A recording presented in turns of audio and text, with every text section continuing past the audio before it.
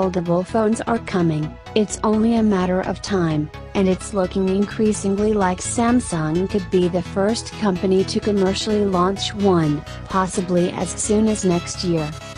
We may even know what it's called, with the mysterious Samsung Galaxy X being the subject of several bendable leaks, foldable patents and flexible rumors. But whether X marks the spot or not, we're clearly entering a foldable future. To see how we got here and where we're going, here's the story of Samsung's foldable phone so far.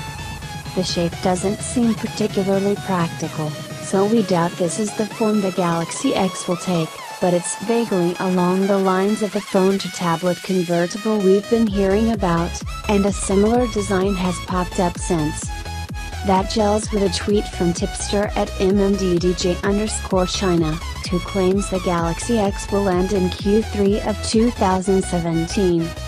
Though elsewhere we're hearing that Samsung may only have a prototype ready by then, and supply chain sources speaking to DigiTimes are even less optimistic, saying that a small production of foldable handsets will be made in the fourth quarter of the year.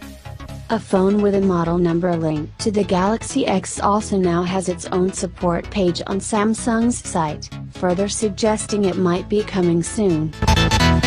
So we still see folding phones in our future, and maybe even the not too distant future. A Galaxy X in 2017 seems very unlikely, but we may at least have seen some shots of it before the end of the year, and a 2018 or 2019 launch looks very possible.